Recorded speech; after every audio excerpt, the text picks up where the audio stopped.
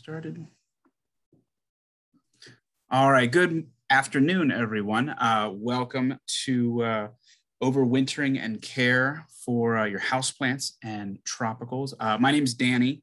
Uh, usually Sally is running these webinars, but uh, she's having some internet problems all the way down in Florida. so I am taking up the mantle today. today we have Amy Jones here, um, who is going to be talking about over uh, overwintering and care for your houseplants at Tropical.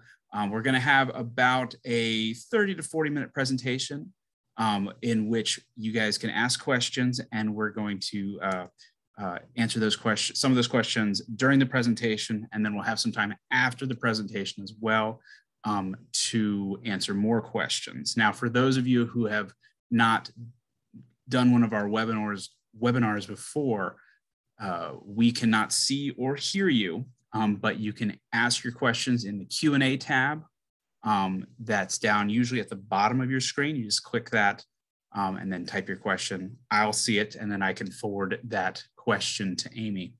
Um, so if you have any other questions by the time that, they, that the webinar is over that didn't get answered, um, feel free to go to our website, www.merrifieldgardencenter.com, and you can ask a question via, via the contact us form, or you can also send Sally Burrows a question uh, through her email address, which is sburrows at mgcmail.com.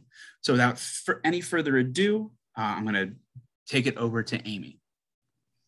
All right, everyone. Hello, I'm Amy, as you know, he mentioned. Uh, I work at the Gallows Road uh, greenhouse at Merrifield Garden Center.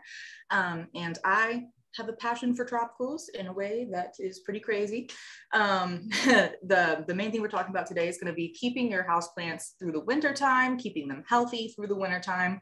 Um, so just the things to look out for and to avoid, particularly for certain guys that are more sensitive um, and just kind of just enjoying houseplants, even when uh, when everything outside is not going to be as green and flowery, and you can have some nice green stuff inside that's still thriving around you. That's kind of the main goal. So we're going to jump right into this. Um, so the main thing when you're going to the winter season, at least for our particular area of the world in the uh, like mid-Atlantic kind of region, um, the main thing is that the light is going to be decreasing significantly. So like if you have a south or western facing window that gets light for like six hours of the day, sometimes in the spring and summertime, um, in the wintertime going through the fall, and especially as like daylight savings changes, I mean, that won't actually change plants getting light, but we're going to be up at different hours and that kind of thing too. Um, they it's going to just be a lot less intense because the sun is literally going to go away from the part of the earth that we're at for quite a while. So it's just the available light is going to be a lot less. Um, so for plants that like a lot of direct sunlight um, you really want to try to get them as close up into the sunniest window you have in the wintertime? Unless that window is particularly drafty and that plant is really sensitive. Um, so for example I've got this little ficus Audrey girl here. Um, super cute ficus trees. I really love a lot. Um, they're really variable in the types of looks that they have. The uh, temperament is a little more advanced sometimes. They're a little more sensitive to drafts, um, watering inconsistencies. Um, they do like a good amount of direct sun if possible. Um, so that is gonna, as also help to keep them with their immune system strongest so that they can um, fight off any kind of pest or diseases better. Um, but these guys, they're they're somewhat sensitive to any kind of cold drafts. Um, so I definitely, if you have this guy in a window that's a little less insulated, would maybe pull them back just a little bit, like a foot or two, um, or even like if you have like a vent that's going to be blowing heat directly onto the plant, you can get like a vent director where you just, it's a pretty much a plastic screw kind of thing that you put into the ceiling that will direct the air away from the plant. Um, it also helps with other like air movement in the house too sometimes if it doesn't tend to circulate super well. Um, but yeah, that can be really helpful for more sensitive plants like this guy who will drop leaves very regularly if there's a lot of cold drafts going on or even dry heat drafts. Um, that's really going to put a lot of stress on plants' leaves because they're going to be losing more moisture through their leaves than they had been previously. Um, and especially when you're going from growing a plant outside in the spring and summertime, when you go to bring it inside for the winter, um, the change in the nice hum humidity, the regular rains, all of that going to a dry kind of heat artificial situation is pretty stressful on these guys. Um, and with ficus trees, I've seen them drop more than half of their leaves sometimes when you bring them in um, and you're not doing any kind of thing to mitigate the humidity and the uh, the light or the airflow that they're receiving still. Um, but it's not the end of the world. That is kind of typical for them in new situations to drop a lot of leaves. Um, but then they can regrow absolutely. Just chop them back a little if they're kind of bare, and they'll just respark from wherever you chop them to. Um, but yeah, that's uh, one of the main things about the uh, sensitive plants and uh, having them in the wintertime near draftier windows or heating vents. You just you want to kind of keep them a little bit away. Um, so like for instance, this guy here, the snake plant, um, this one has a very tough leaf. Um, the leaves are very waxy, very thick. They're not going to be losing a lot of moisture through their leaves like a plant like a ficus would be that has much larger visible pores on the leaf. Um, these you really can't see pores whatsoever. You'd have to get to a microscopic level. Um, but these guys, you could have these near a pretty warm, drafty kind of situation, and they're really not going to be too affected. Um, so if you have plants, um, a, a, really fun thing that you can do in the winter is kind of rearrange your house plants a little bit so that they can get the best light that they need, but so also that they're not going to be in situations that's going to be overly stressful to them, like the uh, the dry air being blown on them all the time. Um, these guys, if you had this guy, in a space before that was, you know, somewhat brighter, so or even lower light, and then you had to move this guy away from a spot that was pretty bright, um, just to, even to the other side of the same bench that they were on. So he's still getting similar light. Um, this one would be able to tolerate a lot more drafts going on. So that's a it's a really good way to kind of move your plants around, still have a plant in the same space that you like having a plant, but it's one that can tolerate that kind of situation a little bit better for that part of the year. Um, and it's always nice. I like to kind of move plants around just to have a little bit of a new fresh feeling for the different seasons. You can kind of get fun with the decorations with them. And um, I just, I really love having a, a variety of plants that you can move around for that exact purpose because they probably won't be happy year round in the same space. Um, just year after year after year, things are going to be changing. Like, for instance, um, in front of my house, it used to be really sunny. Like, if you sat in front of the south facing window, it used to like get hot on your back if you were sitting there. But now there's so many trees that have grown up that it's pretty shady. That I have to actually put a ton of grow lights in my room in order to actually get the light adequate for most plants. Um, so it, things will change over time. It's totally cool to be expected. Um, and it's part of the fun of it, honestly, because you always get to, you know, see how things look in different situations, even maybe get a new friend out of the whole situation. All right. So another plant that's pretty sensitive to dry air kind of situations are going to be any kind of fern or plant that has a very thin leaf. Um, if you kind of shake this guy around, it kind of sounds like it's even a little bit dry. Um, and these guys are just, they don't have much as far as maintaining moisture in their leaves in drier air. Um, so even in like a normal home situation, it can sometimes be hard to grow ferns just because they really love a high humidity in the air kind of situation. Um, so for these guys, I have no problem growing them outside all summer. They get huge, they get beautiful. Um, but then when I go to bring them inside, even in like a bathroom situation, I, I have found that they can tend to really start to die back pretty regularly. I usually expect for this plant um, of my own at home to lose about half the fronds that it has in the wintertime that it had when I first brought it in from the summer, just due to the drier air. Um, I have quite a few plants. So when I go to bring them in, they don't always end up in the best lighting situation as well. So that will also really impact um, the available, the the plant keeping leaves on like it did in the summertime. Um, so for these guys, they do thin out pretty significantly. Most of my ferns typically do thin a little bit in the winter just because they're not able to support as many fronds as they had in the lower humidity. Um, but that's totally okay. I've always found that in the spring and summer with a little extra humidity and love, they tend to really just regrow like crazy. Um, even if they've gotten really bare, I like to put them outside just once it's warm in the summer and then they tend to really grow like four times as big as they did when I first put them out from the wintertime. Um, and it's just, it's really fun to watch these guys grow after being put through multiple situations, not necessarily bad situations, but definitely you can see the difference in their growth habit um, in higher humidity higher humidity environments versus lower humidity ones. Um, so for the ferns, um, a really great way to kind of mitigate humidity if you don't have, if you don't want to have to put like a humidifier up in the room is to do a humidity tray, um, which is literally just like a piece of plastic that has like a little bit of a lip. It can be like a shallow bowl. It can be like a bonsai tray kind of thing. Um, and then I fill that tray with a very shallow layer of rocks. And then you can put a little bit of water so that the rock um, the water layer is not over the rocks, but that the plant sits on top of the rocks and doesn't quite touch the water. And then it'll always be evaporating around the plant. Um, and that really helps to create a localized humidity situation for the um, plants that are really particular about that. Um, so like ferns, orchids, thinner leaved sensitive houseplants like calatheas and prayer plants. Um, all of those guys really would appreciate that kind of extra help in the winter when our um, heating systems are working so hard to help to keep the, um, the air warm enough in the house. Um, so the ferns, Main thing is keeping the humidity up. Um, watering may be slightly less, um, but it also might be slightly more often depending on how warm it is and the heat and airflow in your home. Um, so just keep an eye on it. Um, for most plants, you will find that you're gonna be watering a little less often than you would in the spring and summer. Plants, even though they're tropicals, so tropicals in nature, they will grow pretty much year round. Um, a lot of the tropicals we grow as houseplants are grown around the, um, grow naturally around the equator. So they're really not getting so much of a winter light shift as we experience in our areas. Um, however, they still will react differently when they do experience a winter situation. So even though they don't naturally die back in the winter or may have a similar growth habit year round in nature, um, when you go to grow these inside the home and in a place that does experience winter, um, you can't expect the growth to really slow down. Watering is going to be a little bit less just because the plant's not going to be using quite as much water for the most part. Um, and then you may have to supplement with humidity as well to kind of keep the same growth rate up, but still expect it to be a little bit lower than in the spring and summertime. Um, and that's typically just due to the availability of the light. Some plants really do like to take a true resting period in the wintertime. Um, so like elephant ears, alocasias, um, plenty of other plants do a full dormancy, like um, oxalis or the clovers, the purple shamrock plants are really notorious for going completely dormant for part of the year.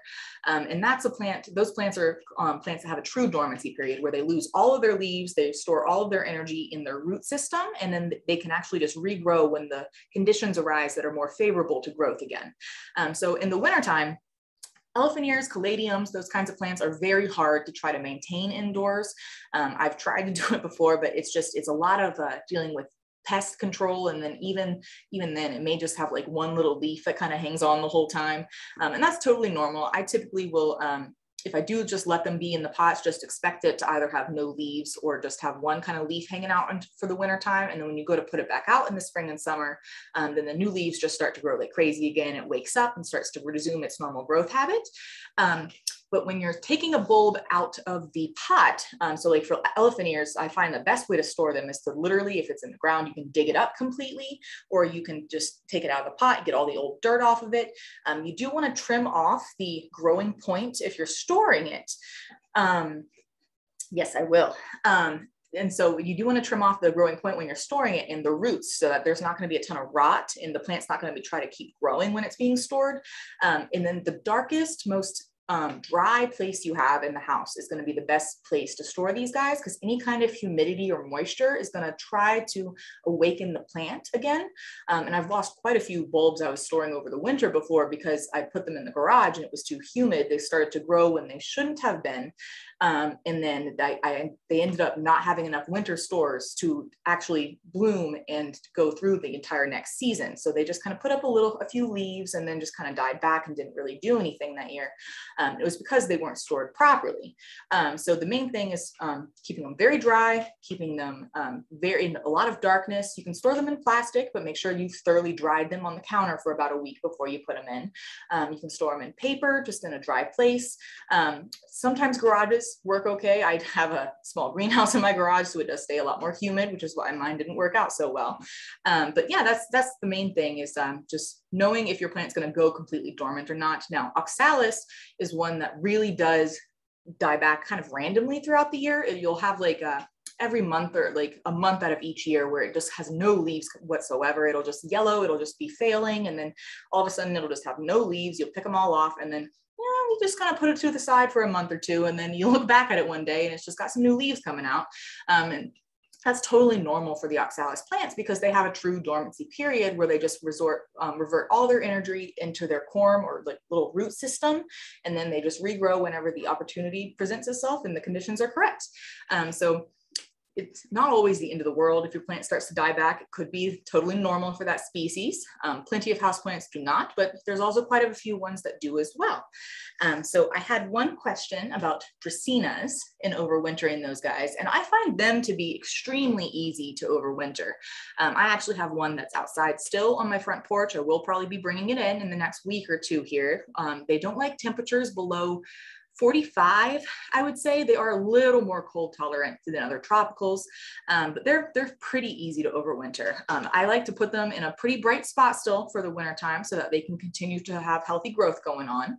Um, I have found that they don't tend to grow very much in the wintertime, um, especially if they're not getting at least a few hours of very bright light, um, but they tend to just kind of really just not use a lot, a lot of water. You could even go every three to four weeks with your watering schedule, as long as it's going thoroughly dry and then you're giving it a really good soak once it reaches total dryness. Um, they definitely will back off on that. Um, and then fertilizer, you really don't want um, to have to fertilize any of the foliage plants during the winter whatsoever, unless they're showing active signs of nutrient deficiency, um, which is gonna look like, it, could, it looks like a very wide variety of things depending on which nutrient is deficient. Um, but if you've been fertilizing in the spring and summer, like using an extended release one, Osmocote, when you water in, um, you probably will not have to fertilize in the wintertime or the fall even whatsoever um, if the plant's in a, an appropriate pot size and has been cared for for prior to that point.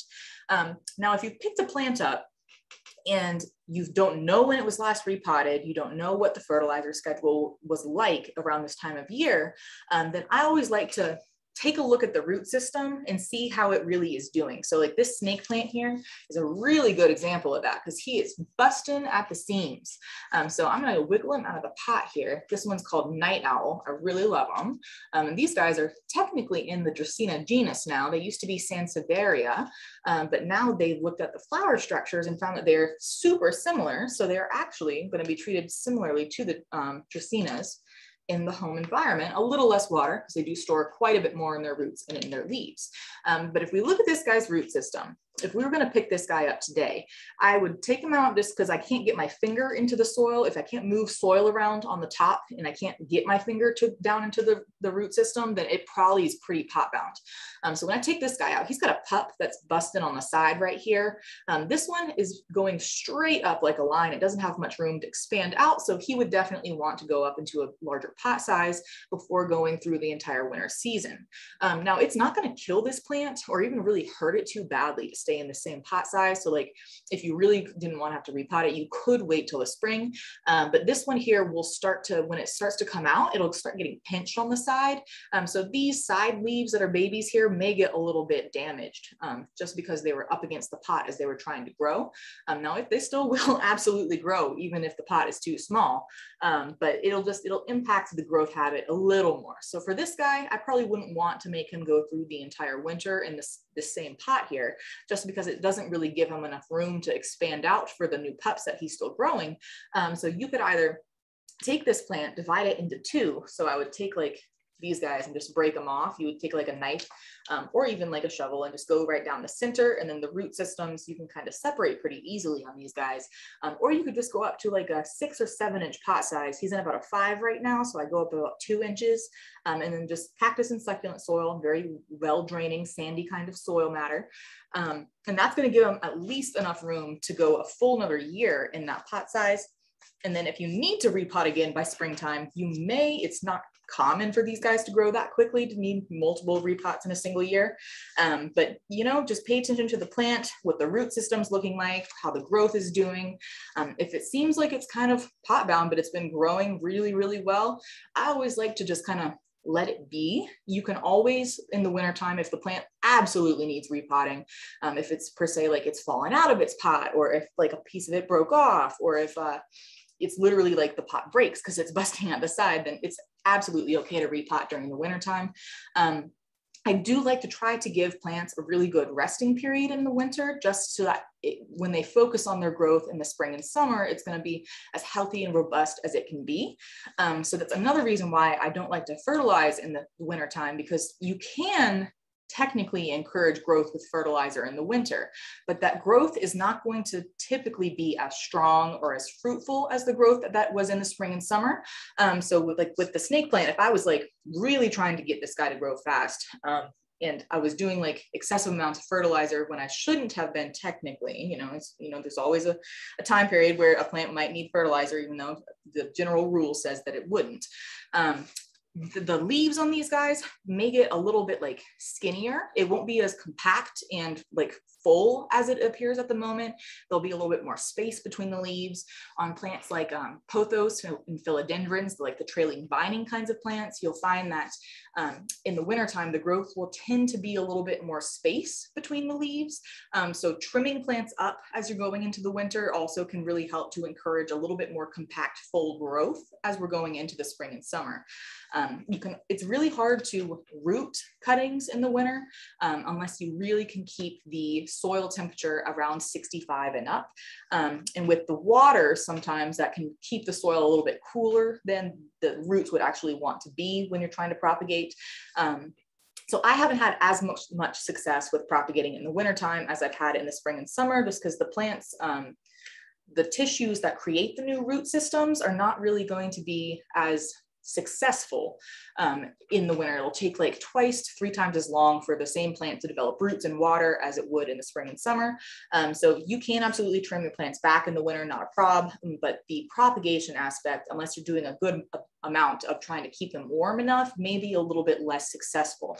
Um, so that's just another thing to think about. I mean, it's always worth a try. I wouldn't like throw something away if it was a, a probable piece of a plant, but um, just whatever you want to do with it. You can have a lot of fun with these kinds of things. Amy, do you have some time to uh, answer a couple questions? Great. All right. Um, first one is, that I saw uh, touching back was uh, that fern that you were holding up a while ago. What type of fern is that? So this one is called a blue star fern.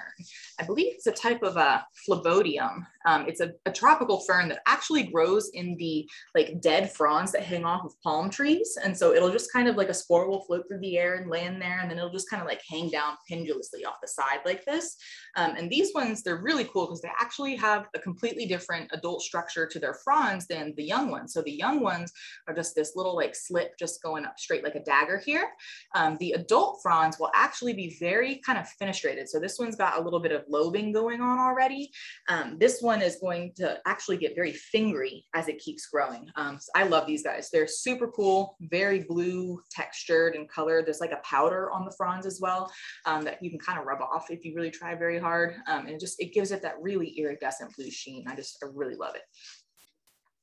Gotcha. Next one, we have a uh, person is asking about air plants. How do we care for an overwinter air plant? Yes. Um, so air plants, they can be pretty sensitive to um, the heat um, in the dry air in the home. So with the air plants, you really want to keep an eye on the humidity. You may have to um, mist a little bit more often.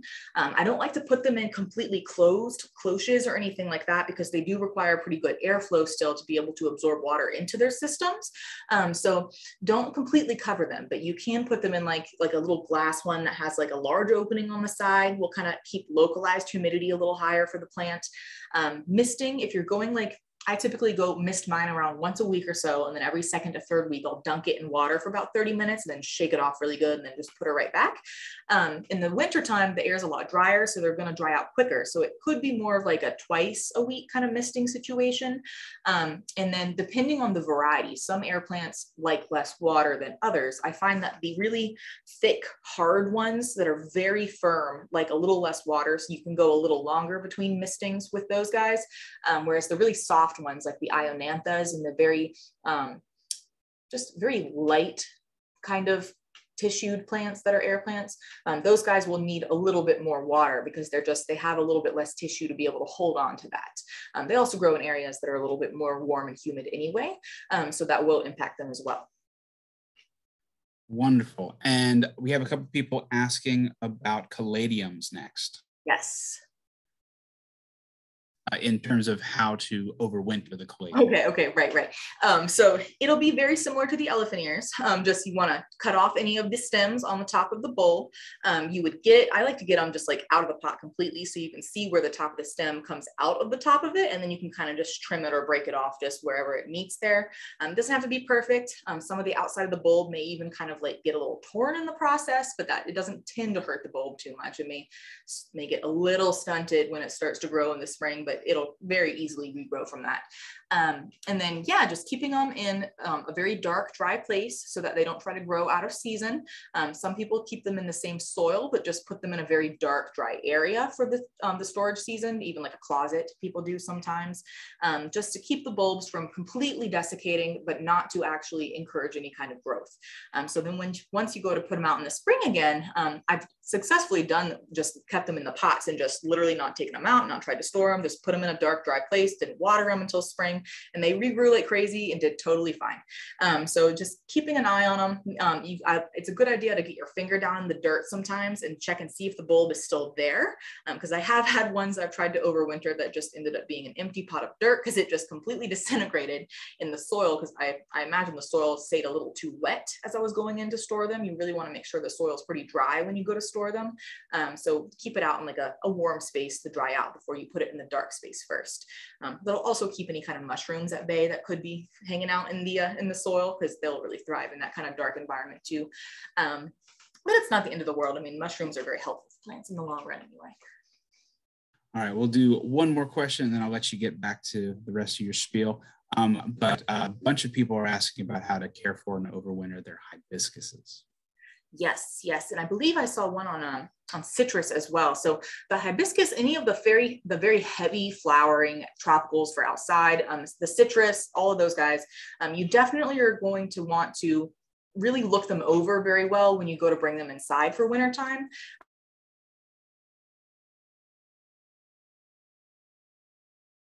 or at least when it goes below 50 degrees at nighttime, just to keep them from getting any kind of shock. Um, but yeah, just keep them in the sunniest space that you have in the house. Um, so if you don't have a window that gets at least a few hours of direct sun during the day, you can supplement with grow lights, um, which are just um, artificial, you know, lights they can screw into any kind of light bulb situation you have typically, as long as it's a pretty high spectrum LED or fluorescent bulb, that is going to greatly increase the available light to your plants. Um, so that really can help. I've had um, great success with the citrus and growing them indoors throughout the winter that way, as well as the hibiscus. Um, but when you first bring them in, definitely you want to check them over for any kinds of pests um, because those guys with that sweet sap and the, the, heavy flowering on them, they're going to just be magnets for spider mites, for aphids, for mealybugs. Um, it's just going to be a big thing. So with hibiscus, I'm a big fan of using a systemic insecticide on them during the uh, winter time. And then if you leach the soil really well before you put them out again in the spring and summer, it's a little less of an issue with hurting the pollinators after you've done that. Um, one of my favorite ones is this guy Hi-Yield systemic granules. Um, it's literally a kind of just granular powder that you would put in the top of the soil and then mix it in. If it's time for water, you can water it in. If it's um, moist already still, you can just mix it in with like a, plastic fork or a chopstick. Um, and this guy, it absorbs into the plant system itself. And then whenever the bugs try to bite at it, it will actually help to kill them off very quickly. Um, so it keeps the bugs, if they're already on the plant, that even if you can't see them, um, and not spider mites, just true insects for this guy um, it'll keep them from being able to get into high populations once you bring them indoors. Um, I also have had success with these guys um, with using this on um, any kind of insects in the soil of your houseplants as well. So like if you have a, if you pick up your pot that was outside and you see like a bunch of like bugs on the bottom of it, um, brush off the ones you can see obviously, but there still probably will be some hiding in the soil and in the pot of the plant. I don't tend to recommend repotting before you bring them inside just because it's going to further stress the plant that's already been in a very ideal situation going into a less ideal situation. You kind of want to mitigate the amount of stress they experience at one point in time. Um, but you can, you can definitely um, just do some of this guy in the soil if it's a not a food producing plant and it's going to definitely keep control over any kind of insects that could be plant pests. Um, so for spider mites, um, I you really can't use this because this is, they're not true insects; they are arachnids. Um, so this only will work against true insects. So like mealybugs, aphids, leafhoppers, all of those kinds of guys. Um, for spider mites, you can easily use this guy, which is called Eight. Um, it's a really great spray product based on with uh, sulfur and pyrethrins, which are derived from chrysanthemums. Um, and it controls most bugs on indoor plants. It doesn't really have a smell. It's a spray. I would um, probably spray in an area where you don't have kids and pets around. It's once it's dry, it's not going to hurt anything. Um, but this one is really good for most houseplants. Um, now I wouldn't, you can use these on citrus and that kind of thing. I tend to go for the most organic, natural thing I can for my citrus plants, just because I am going to be eating the lemons and limes I get off of them.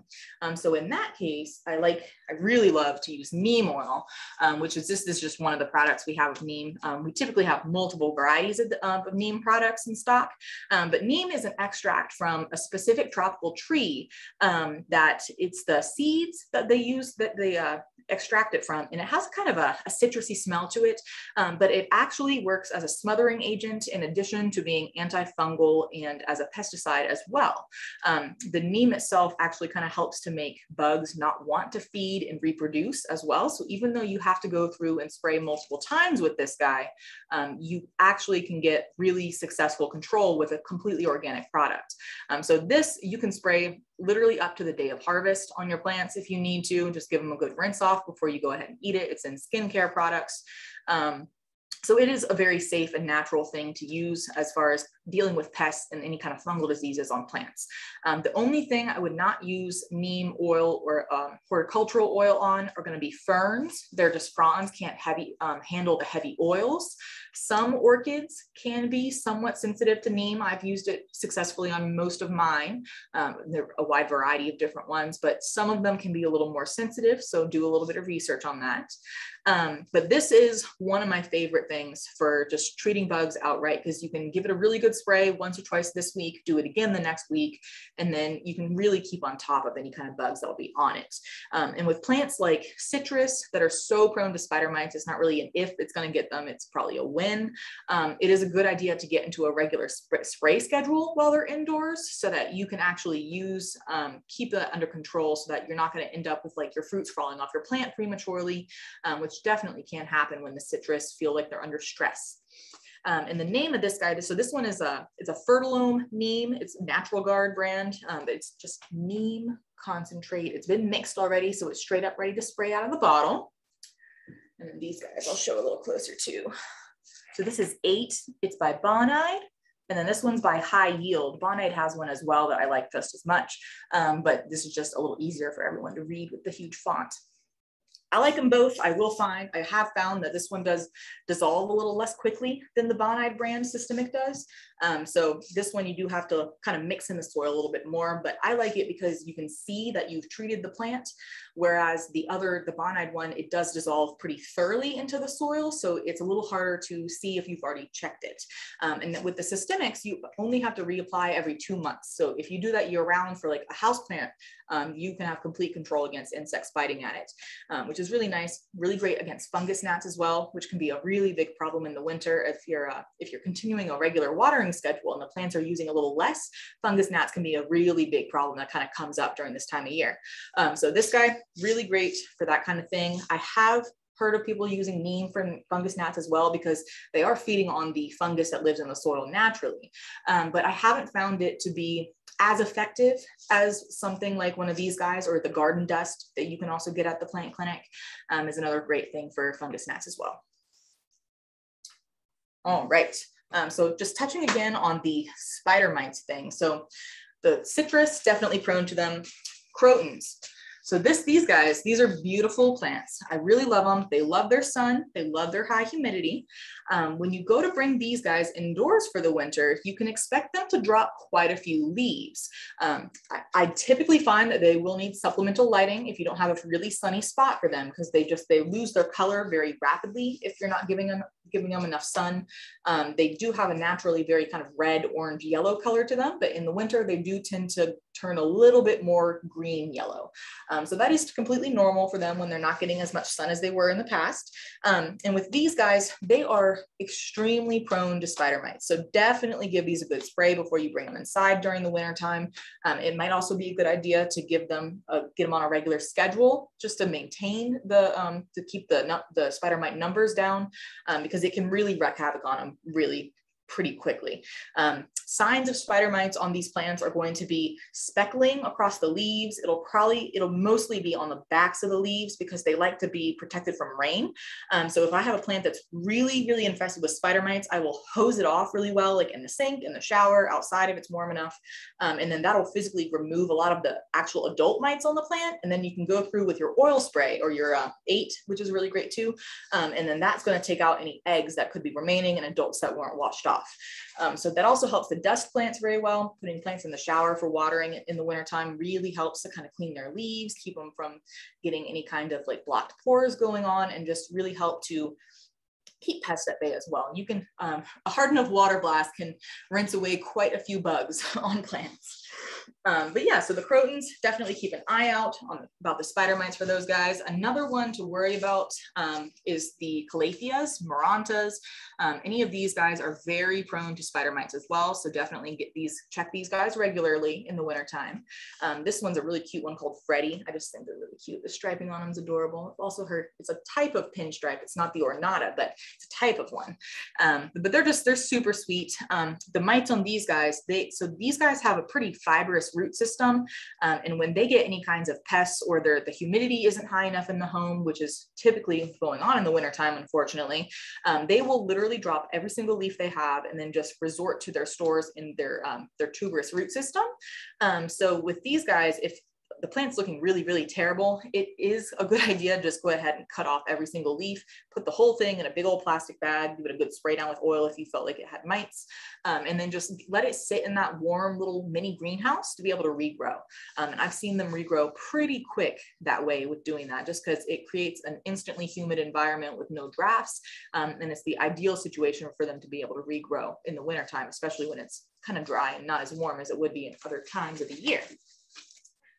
All right. Um, we went over a little bit on repotting. Um, definitely like if the plant is not going to make it through the season without repotting go ahead and repot it um, my general rule of thumb again is not to repot during the winter just for like aesthetic reasons um, it, like so like if the plastic pot i mean it's not super fancy i understand. I like to just set it down in a different catch pot so that you're kind of faking that it's planted in at the moment. Um, and then when it comes time for springtime if the roots are really getting packed in there you're having to water like extremely often to keep it happy then you can go up in size and pot it directly into the pot of your choice. Um, so for the winter, when in doubt, best to wait it out is what I like to tell people. Um, just because you can always repot later, um, but a plant going through transplant shock in the wintertime is just a lot less likely to regrow as healthfully as it did before or anywhere near as quickly as it could have. Um, so I tend to give it at least like a month or so in the home. And then if I really feel like it needs repotting still, then I can go ahead and do that. Um, but just keep an eye that you're trying to keep everything very stable for it moving forward after that point. So not to stress it out too, too much. So I've got a gardenia plant here as well. Um, this is definitely one of the plants that you would want to spray pretty hardcore before you go ahead and bring it inside for the winter. Um, now these are zone eight hardy, so people can grow these a couple hours south from us outside in the ground. Um, but in pots, they will not last the winter outside for us in this area, unfortunately. Um, so these can be kind of hard to grow sometimes just because they are so temperamental. Um, they do require an acidic kind of pH. Um, so for these guys, you may have to do a little bit of supplemental fertilizing in the wintertime just to keep the pH proper. Um, so if you notice the leaves are turning a very light green, they're looking a little bit yellow, um, then you will definitely want to keep an eye on the, uh, the acidity of the soil. Um, so you can do that with a pH test. Um, you can bring leaves in, we can take a look at them and just identify that that's what's going on. Um, but a little bit of acidic fertilizer for acidic loving plants um, will go a long way as far as keeping these guys healthy in the wintertime. Um, now I wouldn't fertilize super often in order to try to get it to bloom in the winter. They can technically bloom year round, um, but unless you're doing supplemental lighting or you have a greenhouse situation for these guys, don't expect them to flower throughout the winter time because their main season is spring through summer. Um, so I like to just really, if they're getting overgrown, give them a really good cutback. Um, you can do the same thing with citrus if you're trying to shape them as well during this time before they're going to their full fruiting and flower season because we're going into that for the citrus. Um, cut them back, give them a really good spray down, they do they are pretty thirsty plants so if necessary you could go up in size a little bit for these guys. Go ahead and um, repot them go up a little bit um, or you could wait till spring if it's not like really busting at the root system. Um, but yeah these guys they're just going to be a little more sensitive so just keep an eye on them make sure their ph is proper still.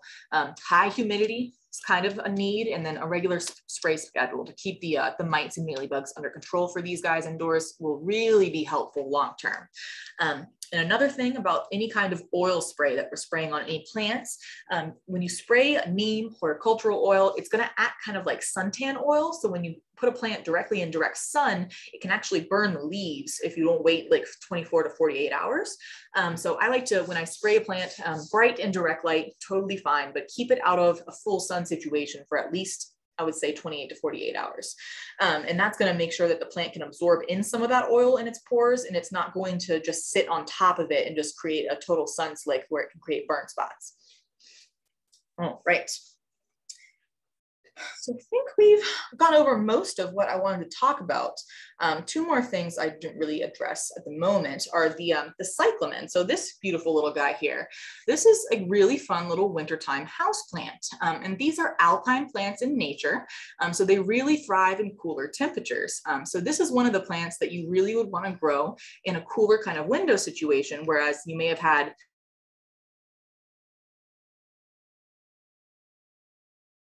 windowsill um, and they really actually can't tolerate temperatures above 80 degrees or so. Um, so in greenhouses, they really don't tend to last very long because they just, it gets too warm for them. Um, but in the normal house situation near a drafty window, these guys will thrive all winter long. They can bloom all winter.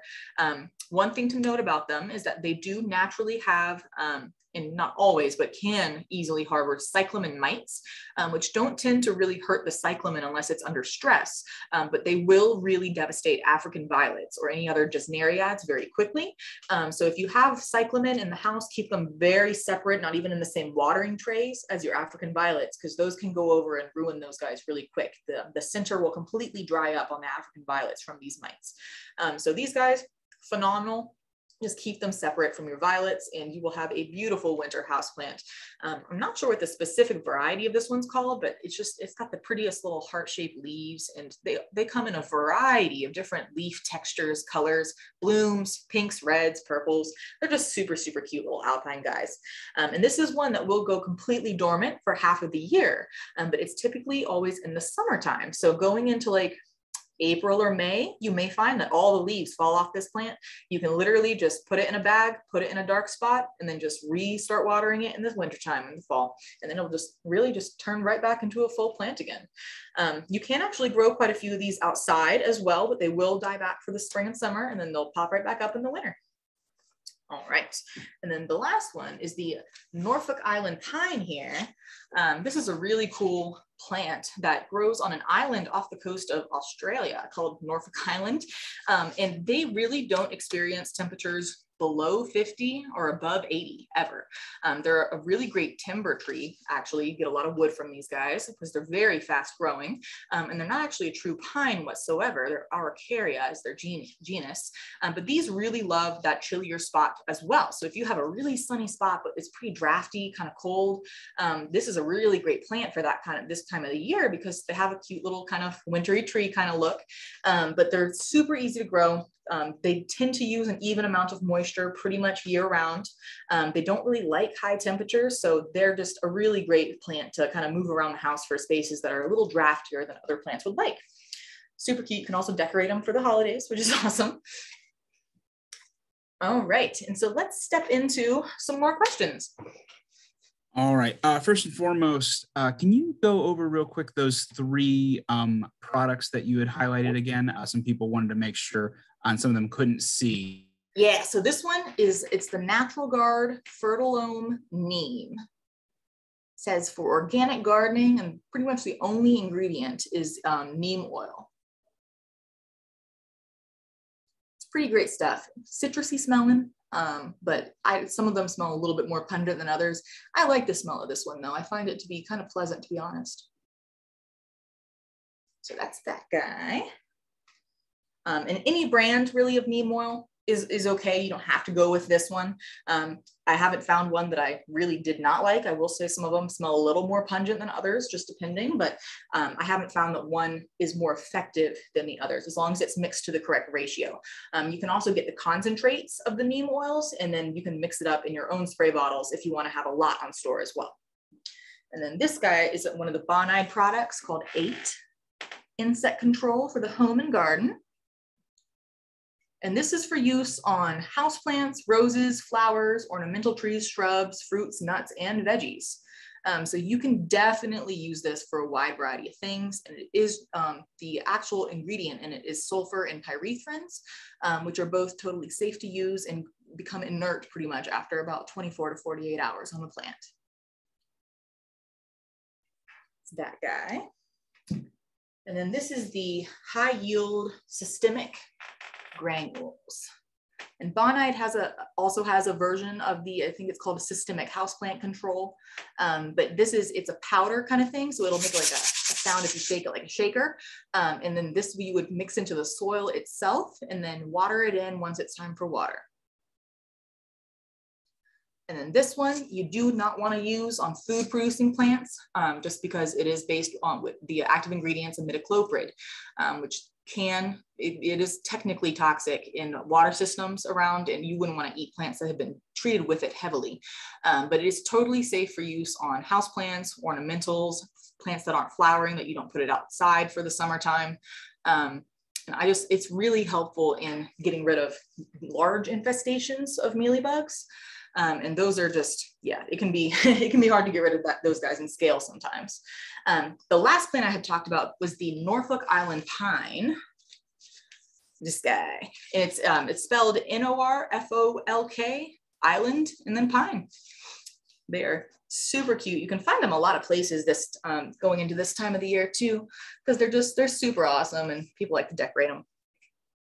All right. Uh, next person, uh, sorry, not, not next person, but a lot of people were asking about banana plants and how to overwinter yes. banana plants. Right. Um, so the tropical bananas, um, those you would definitely want to bring inside once it goes below 50 or so at nighttime. Um, and then just the sunniest spot you have for them. They're still a pretty water heavy plant. Um, I have found that they're a little bit prone to aphids indoors as well. Um, mealybugs sometimes too. So keep an eye on those guys on the new growth in particular is where all those sap sucking bugs like to hang out. Um, and then you can you can technically chop them back um, in the winter. In, I mean, for the uh, the wintertime if you want to. Um, some people choose to store the roots just in like in the garage. They'll chop all the foliage off down to the almost to the base of the trunk, honestly, um, and then just keep watering it like once a month just to keep the roots from completely desiccating. Um, and then they put them back outside and it just completely regrows from a new growth point in the spring. Um, but you can also grow them as a house plant indoors year round. Um, they do get pretty big, um, but so if size is an issue, then I would probably cut it back. But if it's still manageable in the house, you can just grow it as a house plant. Just keep up with the watering. They're still pretty thirsty. It'll be a little less often just because it's not going to be as windy and the heat and everything.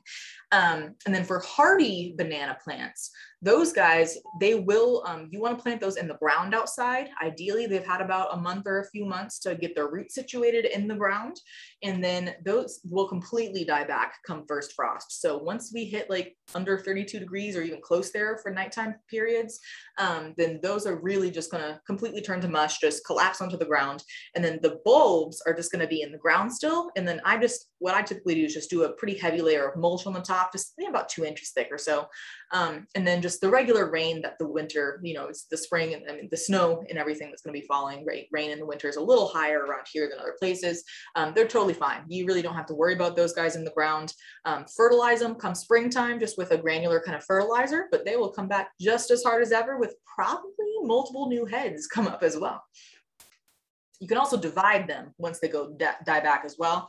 Um, so like if you see like there had already been two heads, you can go through and like dig out the bulb in the ground and then move it to somewhere else um, to come back in the springtime too, which is kind of fun. All right. So uh, an another group of people is wondering about uh, bougainvilleas and mm -hmm. then also what type of fertilizer they should be using with them. And if you have any uh, fertilizer, like with the number ratio, what you'd recommend. Yeah, yeah. Um, so the bougainvilleas, they're they're one that's a, a little easier to overwinter, provided that you are putting it in a really sunny spot year round still. Um, so I have not heard of people having too much success with like putting them in like the garage or, like, or a dark place and trying to store them that way because they tend to just exhaust their own energy stores. Um, but the bougainvilleas, they're a little prone to spider mites and mealybugs. Um, so keep an eye on those guys as far as pests are concerned. Um, I do recommend kind of cutting those guys back pretty hard when you go to bring them in, just because they are a very like fast growing vining kind of plant. Um, so to keep it under control, you can cut them back pretty much as much as you need to, um, just to be able to bring them inside and then give them a pretty sunny spot still. Um, they do like misting pretty regularly, so that'll help to keep them from losing too much moisture through their leaves. Um, fertilizer, ideally, I like like a like a 10, 15, 10 or so. They're pretty even, but a little higher of the middle number for adequate bloom production. Um, and I really only would fertilize these guys in the winter if they're going to be in a pretty warm semi greenhouse sunroom kind of situation and they're trying to actively produce flowers. Um, if it's still just kind of green leaves or even doesn't have very many leaves, um, I probably wouldn't fertilize until springtime just to not try to encourage growth that is less stable and healthy as the spring summer growth. Um, but if it's actively blooming, going crazy, going into the wintertime, they can technically bloom year round sometimes.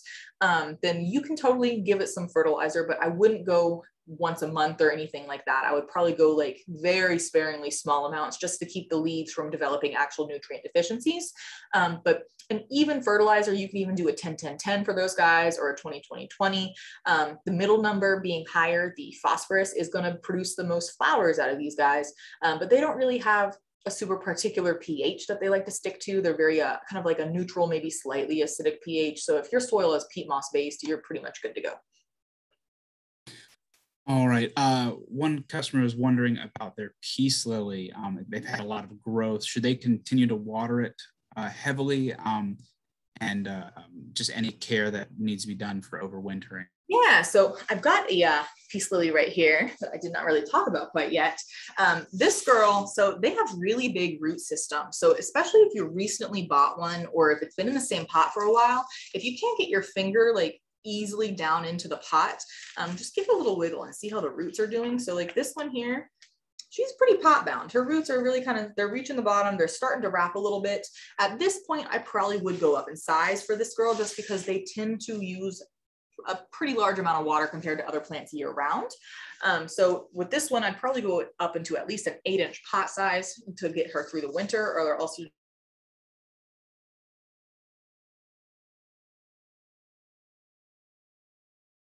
tend to use a similar amount of water year round, but it will probably be slightly less if you're keeping them in the same spot. Um, if you're moving them to a little bit of a brighter spot to try to encourage blooms or that kind of thing, um, then it may need a little bit more watering just because it's going to be using a little more to try to subsist. Um, but yeah, the peace lilies, um, if they're putting up new flowers, you can fertilize to help to keep them healthy. Um, with all the tropicals, if they're throwing out tons of active growth, then it is okay to give them a little bit of light fertilizer um, because at that point, the plant's happy, it's growing, it's using up its nutrients with healthy new growth. Um, at that point, you can do a little bit of fertilizer, but I wouldn't try to fertilize to try to get a plant to grow in the wintertime, um, just because it's not gonna produce the healthiest growth for the long term of the plant. Uh, going away from the overwintering for a second, someone was wondering about uh, they had saw what they thought was a rubber tree plant, um, but was told that it was a ficus. Is a rubber tree plant a ficus? It is, yes. So there's actually, there's multiple types of rubber trees. So the rubber tree that people used to get um, most of the world's rubber from, I think a lot of it's synthetic at this point, but natural rubber is technically a different plant from the ficus rubber tree. Um, the natural rubber plant is, it's a much, I mean, I would say it's a much larger growing tree because the ficus can get to be like 100 feet tall, um, but they're massive, massive trees with massive trunks. Um, and those, um, it's, I can't remember the exact genus at the moment. I know it starts with an H. Um, but those guys, they tend to produce like got 10 times as much actual rubber sap than the ficus rubber trees do. Um, so you could technically tap one of the, uh, an, a very old um, ficus rubber tree and get latex sap out of it so that you could make with rubber yourself. Um, it's just not as high of a yield though. So it's not the one that people typically would use historically for rubber production. Um, however, it is entirely possible as all ficus have a lot of latex as their sap. Um, the rubber trees are a little bit I think they call them the rubber trees because the, the leaves themselves feel like they may be made out of rubber. It's a very waxy kind of leaf. Um, they have very obvious pores that sometimes kind of like you can see the, the hard minerals kind of secreting out of them and it'll form like a little stain on the pore on the top of the leaf. Um, so I think that's probably why they're called rubber plants. Um, because they're very similar. You can still tap them for the latex the same way that, that they tap the real rubber trees from. Um, but yeah, they are um, they are indeed a ficus. Um, ficus robusta is one of the, uh, the, like kind of a green original rubber plant. Um, ficus elastica is the true name for the rubber plant as far as the species name. Wonderful. Uh, next plant on the list, a bunch of people are asking about um, uh, monsteras, mm-hmm. how we mm-hmm. could overwinter monsteras. Yes. Um, so those guys, I, I've had most success with growing mine in like Eastern window pretty much year round.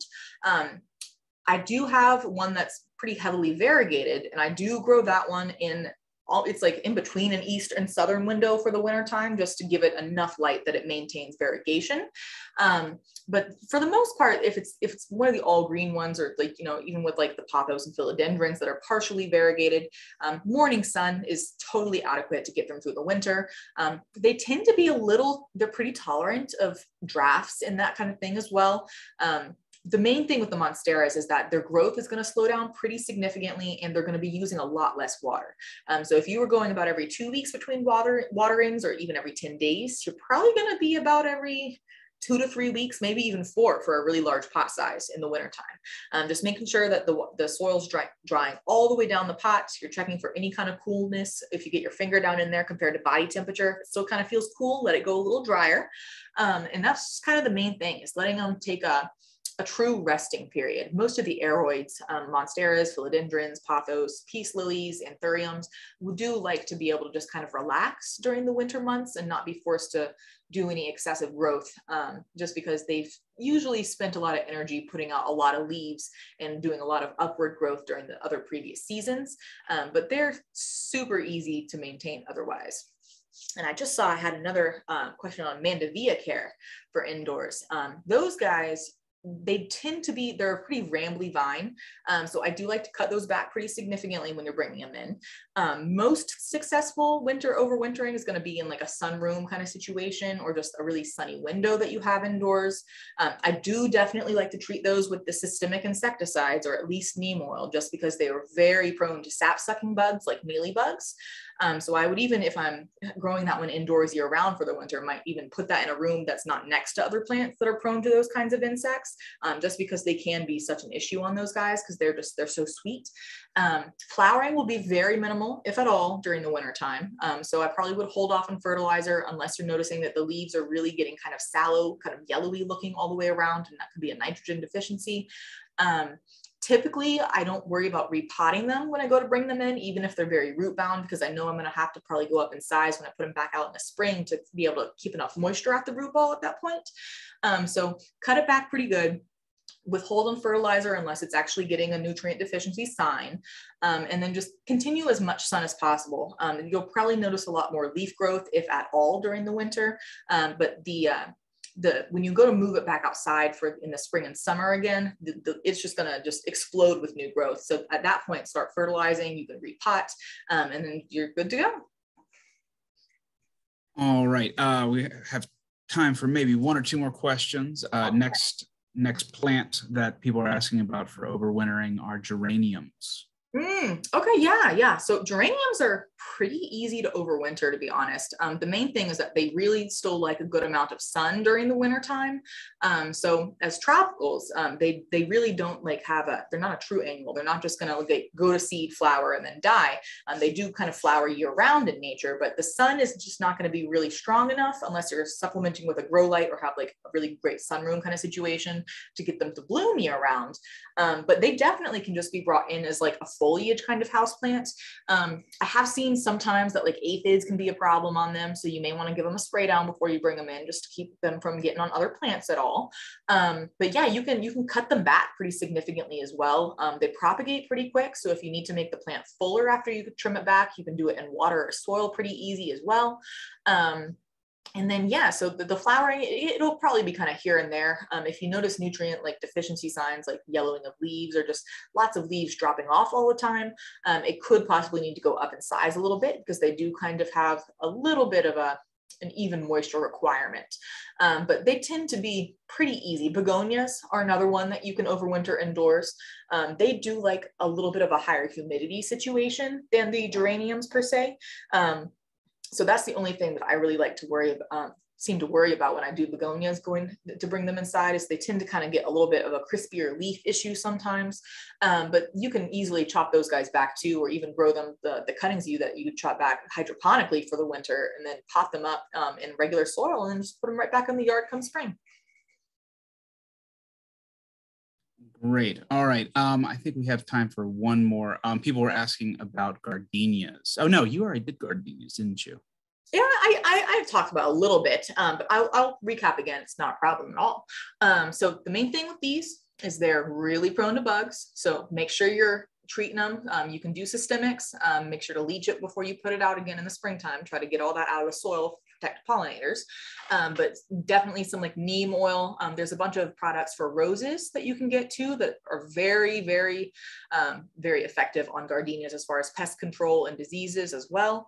Um, sap sucking bugs, aphids, spider mites are they're magnets for those guys. Mealybugs, scale, they're magnets for pretty much all of them. Um, so really pest control is the main thing with the gardenias when you're going to be bringing them indoors. Watering will be a little less than you would be outside because they, they're a pretty thirsty plant on average, but they definitely um, do like even moisture for the most part. Um, if you're noticing a lot of yellowing, um, it could be a watering related thing or spider mites. Um, but I haven't found that they're too hard. I even successfully overwintered mine just in my garage getting indirect grow lights. It wasn't directly under, I'm just getting indirect ones and it didn't grow at all in the winter. And it kind of, you know, dropped a few leaves in the process, but it's a, phenomenally beautiful plant all this past spring and summer. And just with even that kind of minimal care situation in the wintertime. Um, so they're just, I really like them. They can be high maintenance. It might be a plant you have to kind of slave over sometimes, but they're uh, the the fragrance is just overwhelmingly fantastic. And they're just, they're a really fun plant to really see thrive, especially after you put a lot of work into it too. All right, great. Well, it is now one o'clock. So we've, uh, we've gone through our allotted hour. Uh, so I want to thank you, Amy, for all your time and your knowledge here today. I know a lot of people got a, uh, got their questions answered, but a lot of people also uh, still did not. And if you guys did not get the questions answered that you needed to, uh, feel free to reach out to us uh, on our website, merrifieldgardencenter.com, or you can also send um, Sally your questions at sburrows at mgcmail.com. I hope that everybody had a great time today. Uh, I know I did, and I hope me too. did as well, Amy. Um, so until next time, our next uh, webinar is going to be this coming Tuesday, um, and then we'll have our other webinar on Thursday, as well as David's final um, plant clinic for the season before we start going into Christmas on Thursday as well. Um, so everybody have a wonderful day and a, and a good weekend. All right. Bye, everyone.